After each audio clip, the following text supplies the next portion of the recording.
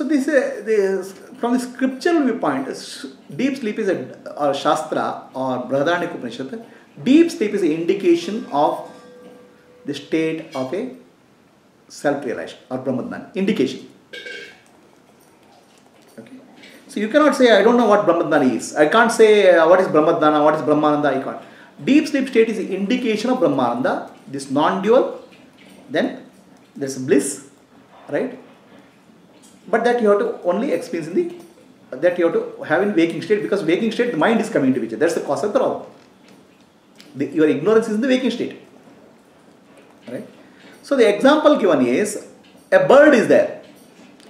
The bird keeps flying in the morning when the, the moment sunrise happens, moment there is sunrise, bird goes for bird goes for searching for food. It'll fly, it'll it'll uh, it'll search. Then by the time it is evening, it gets tired. Okay, and it comes back, and it goes back into its nest, and rests, goes to deep sleep in the rest nest. Similarly, the jivatma, individual soul, which is chidabhasa, okay, in the waking condition, it appears to be traveling, enjoying, working because of the mind. It's associated, it appears to be associated with the mind. It gets tired, stressed because duality is appearing. And it doesn't know, the Chidabhasa doesn't know, I am the self. Okay? So it's getting tired. Then it comes back and sleeps. And in the sleep, it becomes one with, the, it's called Prajna. Prajna is the name of the deep sleep. So now in the Prajna is nothing but indication of, is directly Brahman, pure awareness. You have, you have become one with the pure awareness. In the deep sleep, you are already in one with the pure awareness. Okay. You have you have returned back to Brahman state, Brahman in pure awareness every day. Only thing which have to happen is you have to happen do it in the daytime, waking state. Because waking state is the state of ignorance. Actually, person who is waking up thinks that deep sleep is the state of ignorance. It is the other way. Hmm?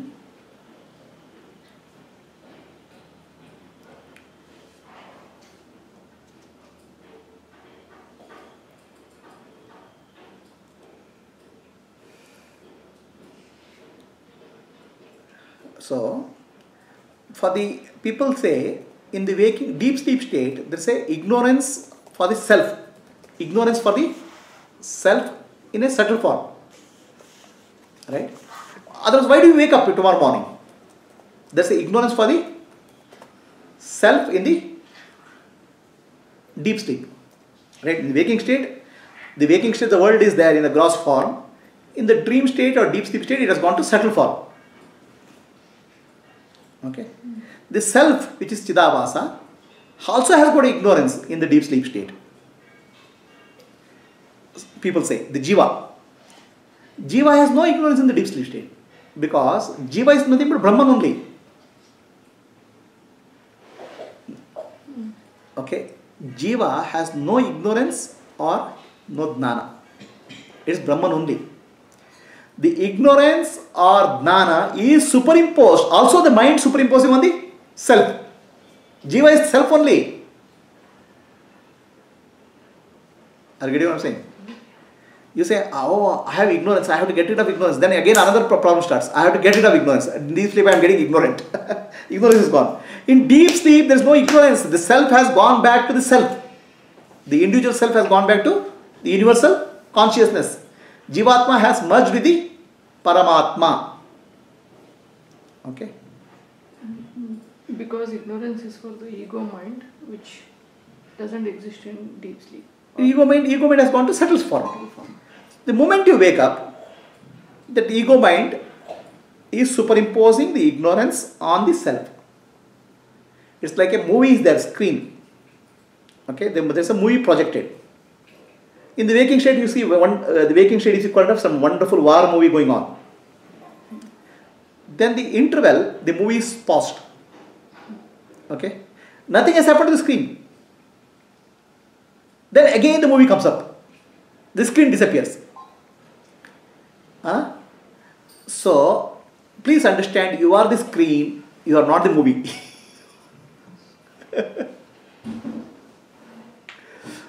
Otherwise, people start thinking, oh, Jivatma has also got some ignorance while going to sleep. That means screen also has some problem in the uh, interval. No. War movie, so much of oh, violence is happening. Somebody is getting killed in the war movie. In the interval, the screen is off. Uh, the movie is off. Okay? So, you say, next immediately the movie comes up. No, that means screen has some problem. War has, war is there in the screen. war is not in the screen. War is in the projector. The movie of your life is in the mind, not in the Atma, not in the self. The moment your morning comes up, okay, the movie starts projection again. Then you say, I am the Jiva. Okay? The ignorance or the Jnana doesn't belong to the self. It is in the mind. That's why all scriptures say, Mana eva karanam manushyanam mandamokshayo. Mind alone is the cause of bondage and liberation. The problem is in the mind, the solution in the mind. So what we are thinking is the problem is in me and solution is me. The problem is not in me, solution is not in me. I am just a screen supporting. I am like sun. I am like pure awareness. Atma has no bandha, no moksha. Nitya Shuddha, Nitya Buddha, Mukta. Are you clear?